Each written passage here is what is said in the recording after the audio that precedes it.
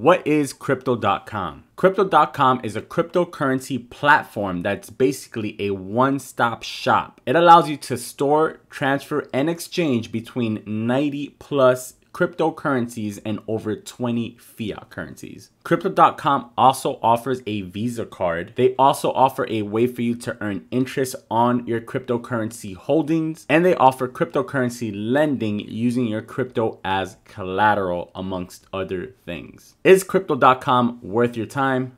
Let's find out.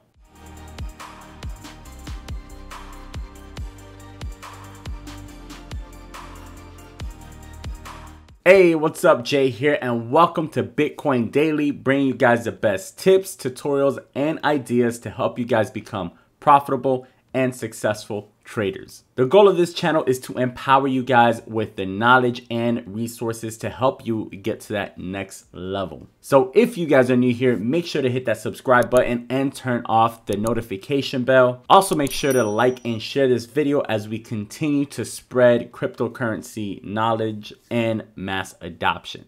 All right, so let's go ahead and look at crypto.com. The first thing we're going to look at is a quick pros and cons list that I've created from my experience on the app. Let's start with the pros. The first thing that it does have that I liked was it has quick verification. So once you sign up for an account on crypto.com, uh, the first thing you will have to do before you can start using it is verify your identity. When I verified my identity, it took about five to 10 minutes, so it was a very quick and easy process. The second pro is that they have 24 7 customer support. Now, I personally have not used the customer support and I have read some reviews saying that uh, the customer service has not gotten back to the people. Um, but here at the top right hand corner, if you guys see the top right hand corner, you just click that and you can see right here that you can start a chat instantly and basically you know ask for whatever it is that you know whatever questions you have.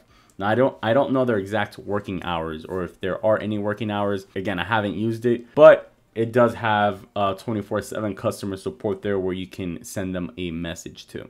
Next, it is available in the United States, it's available in the UK, in Europe, Canada, and Singapore. So next is that you can buy and sell over 90 plus cryptocurrencies, including Bitcoin at the real exchange rate. So if we look at the app here, you can see that we can basically buy any of the top coins, right? So for example, if I wanted to buy, uh, let's say I wanted to buy Tezos, just go ahead and click on Tezos and then at the bottom you see that it has um, the buy the buy XTZ. You can also see here you have the chart here. You could look at the daily, weekly, um, monthly, you know the usual stuff. Then here you have um, some data on the cryptocurrency that you're currently looking at.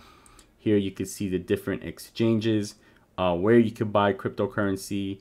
Here's info on the cryptocurrency, and then of course if you hit buy that's where you can buy the cryptocurrency. Another pro is that if you do use any of the Visa cards um, provided by crypto.com is that you do not have any monthly fees as you guys can see here. You don't have monthly fees, you don't have annual fees, you don't have delivery fees.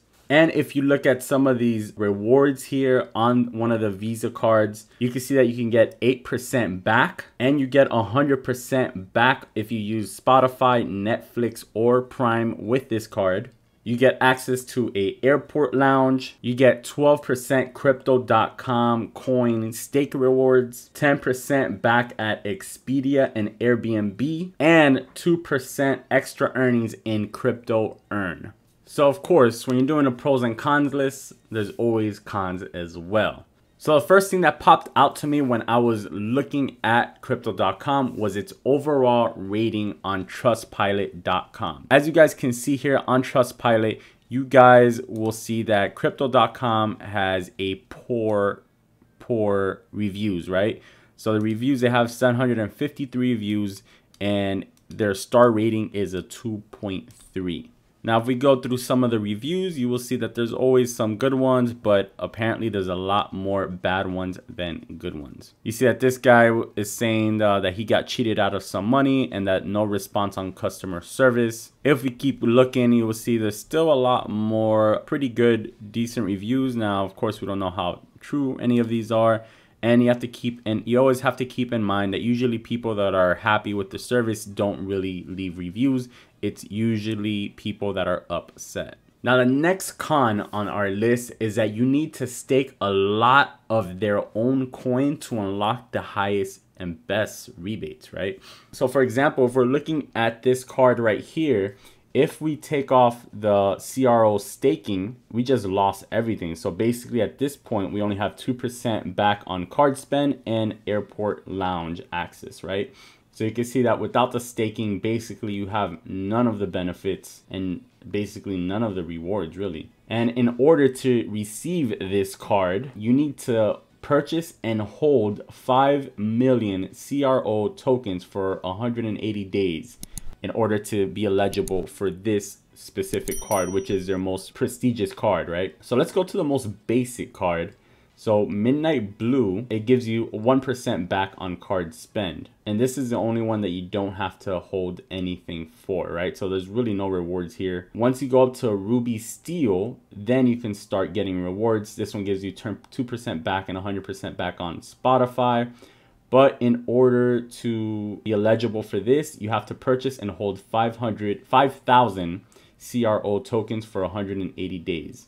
All right, so a little backstory on Crypto.com. Crypto.com was founded back in June 2016 by these four gentlemen right here. In June of 2017, they raised $26.7 million from their Monaco initial coin offering. They're headquartered in Hong Kong and currently have a team of about 700 people worldwide. Crypto.com was previously known as Monaco MCO but rebranded in July of 2018 after the expensive acquisition of the crypto.com domain. They recently announced that they crossed 10 million users around the world after hitting 5 million just 4 months before. So crypto.com is best known for its Visa card, but they do have a range of products. So as you guys know, they have the Visa card where you can spend anywhere that Visa is accepted. They have the crypto.com app where you can buy and sell uh, cryptocurrencies at real exchange rates. They have crypto pay where you can pay friends and family and buy gift cards and all sorts of things. They have crypto earn where you can earn up to 12% interest on your cryptocurrency deposits. They have crypto credit credit where you can deposit cryptocurrency and get credit to spend on your crypto.com Visa card. They have the crypto.com exchange where you can trade popular cryptocurrencies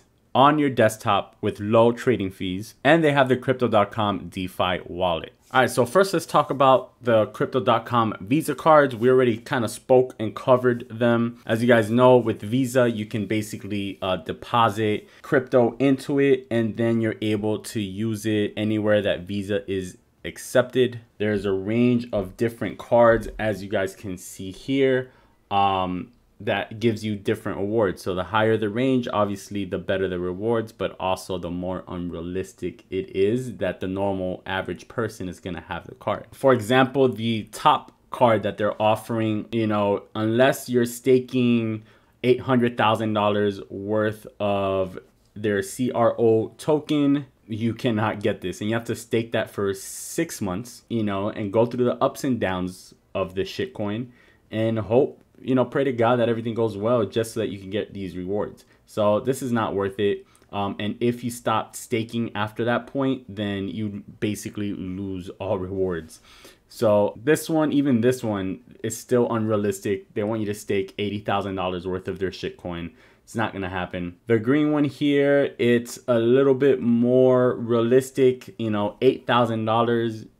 You know, that's not bad. I mean, it's not good, but it's doable for the average person uh, but i get this would be the most realistic one. The red one which you only have to stake about $800 which is 5000 cro for 180 days. And you'll be able to get spotify for free which is kind of cool. And you get 2% back on whatever you spend with the card. The 2% back is uh, returned to you with cro which is of course, their own token. And if you don't want to stake or hold any of their tokens, then you could just get this Midnight Blue and receive 1% back on whatever you spend. Now, these Visa cards are available in the United States, the United Kingdom, Europe, Canada, and Singapore. Excluding the uh, staking requirements, it is free to get your card and to have it delivered, and it's free to load money onto your card. There are no domestic transaction fees. There's also no monthly management fee, but you will be charged about $5 if you don't use your card at least once over a 12 month period. So if you guys are looking to buy cryptocurrencies with the crypto.com app, they do charge fees, but for new users, the fees will be waived for the first 30 days. Then everything else, if you're using a credit or debit card, your fees vary depending where you are, but it's between 2.99% to 3.99%. So to buy uh, any type of cryptocurrency on the app, you just have to click on the app, um, then you hit buy, and then it asks you, you know, if you want to buy with credit card, with a crypto wallet, or with a fiat wallet. So it's pretty simple. Now, I have not deposited from a credit card using credit card or debit card, and I haven't deposited using a bank, um, my bank either. But I did read that if you use your bank, it is free. You don't have to pay any fees when you're depositing money from directly from your bank account. So as you guys already know, there's over 90 different cryptocurrencies that are available and supported on the crypto.com app. Crypto.com also supports over 20 different fiat currencies. So now let's go ahead and talk about Crypto Earn, which is really what I'm most interested in. As you guys know, I've done a few videos on BlockFi. So we're going to compare BlockFi to Crypto.com's earning platform.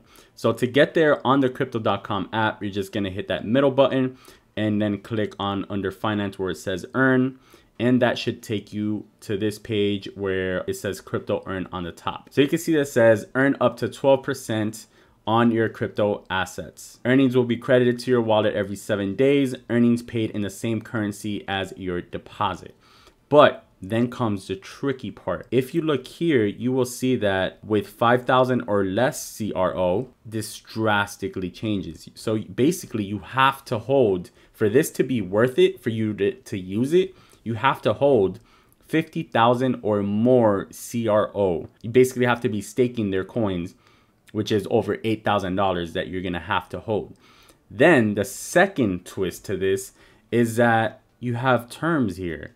So if you go down in terms, like I showed you guys earlier, let's say I want to do, I want to be flexible. I want to be able to, you know, take out my coins at any time. Look how drastically this changes. Look at Bitcoin, 2%. If I use flexible, let's see if I take, if I'm not staking, it's still 2%. Oh yeah, actually, so if I'm flexible, it's, it's a 2%.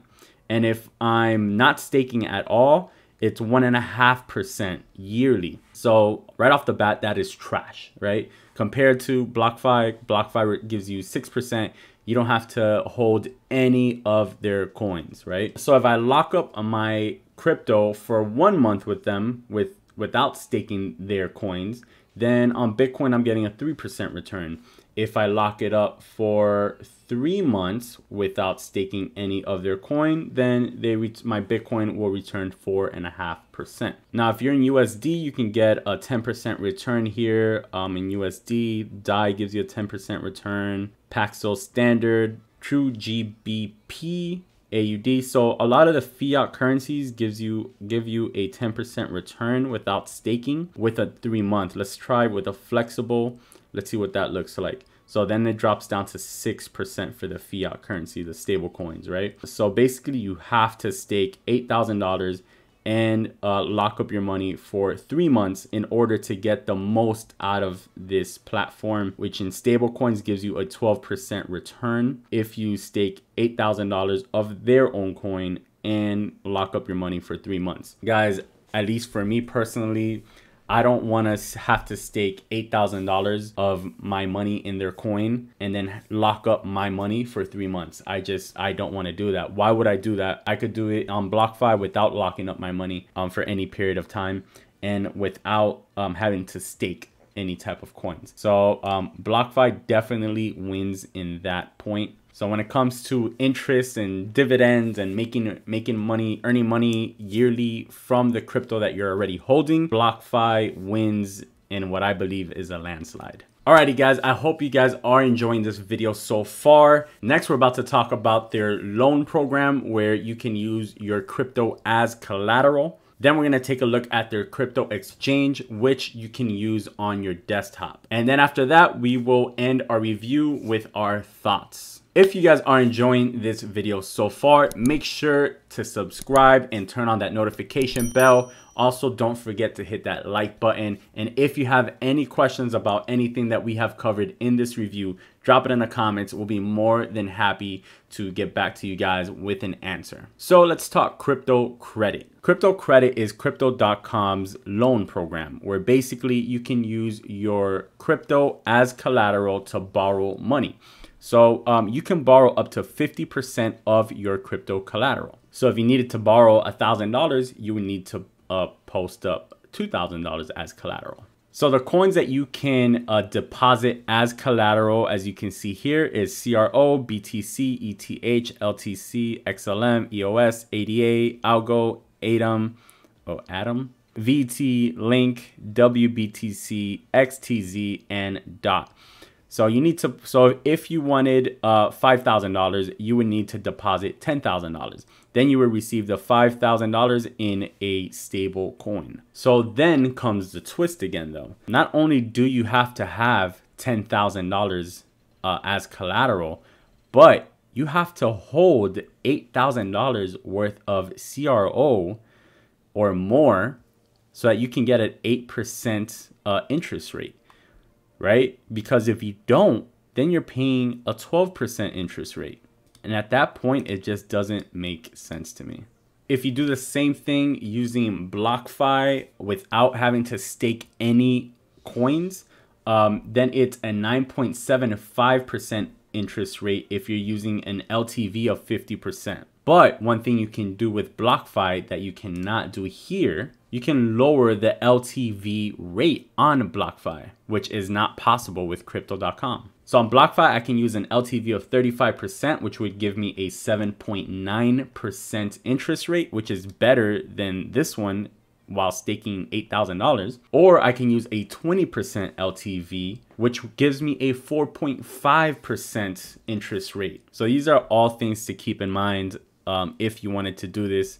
Again, I'm not doing it on crypto.com if I do use it for any reason. Now, crypto.com does have a um, desktop based exchange, trading exchange, where you can trade, you can even trade with margin, uh, derivatives, and it has all sorts of stuff. I will say that I've never used this, and I don't know if it's a separate account or separate logins. I'm not sure, but they do have a lot of coins available here for basically everything, right? So I've never used this, so I don't have too much to say about this, but they do pretty good on fees here. Um, and obviously, you know, the same way that you need to have uh, be staking their own token in order to get discounted on fees. Um, if you do stake any other tokens, they give you discounts here for using their own fees. So that's a plus for this exchange. Other than that, I don't know much about the exchange. I've never used it. So bottom line, guys, uh, the Crypto.com app is a pretty good, user-friendly, easy-to-use app where it gives, it's basically a one-stop shop for everything crypto. It gives you everything from uh, trading cryptocurrencies, uh, being able to buy and sell cryptocurrencies, from your bank accounts uh, at no fees or very low fees. It gives you access to a lot of altcoins that um, I know in uh, depending what country you're in, you might have trouble accessing. They offer a Visa uh, debit card, which you can use. Thing I don't like about, we already spoke about what I don't like about it, but um, if you guys are into that, then you guys can definitely use it. And they have a earning platform where you can earn interest on the cryptocurrency that you hold all in all, it's not bad at all. You know, again, my the major things that pop out in my mind is I personally use it for altcoins, um, and I don't mind using it for that. Other than that, I do not use crypto earn because it's just not worth it to me. Uh, BlockFi is way better with that. I do not use their Visa cards because I don't care. First of all, I don't care for debit cards. I don't want to spend my crypto. But if if you're you want you're looking for ways to spend crypto, then that's definitely a great way to do it. You could just get their basic cards. For their higher reward cards, you need to stake way too much of their own tokens in order to for it to be worth it. So that's just not something I'm looking at or interested in. So that's basically it, guys. I would give it, if I had to choose, I would give it about a three stars out of five um, just because they lost a point on their crypto earned from me and they lost a point on their uh, uh, Visa cards from me as well. Uh, they just make it way too difficult overall, um, trying to force you to hold their tokens in order to benefit from being able to basically use the product. So, um, you know, there's just there's other services out there where you can get more without having to risk money holding a coin. So that uh, they get a three out of five for me. That's it, guys. That is the review on crypto.com. I hope you guys have enjoyed this video. I went through a little bit of trouble trying to get this uh, my phone to work in sync with my computer while also recording everything. So I hope everything went through clearly and I got I was able to get the points that I was saying across and that it's understandable to you guys. But that's pretty much it guys. I hope you guys enjoyed this video. If you're new here, make sure to hit that subscribe button and turn on that notification bell. Um, also guys, don't forget to like the video. If you have any questions about anything that we covered, anything that I might have missed, go ahead and drop it in the comments and I'll be more than happy to get back with you uh, with an answer. Alrighty guys, tomorrow I will be doing a live stream. We'll be talking Bitcoin and altcoins, so tune in for that. As always guys, peace and love.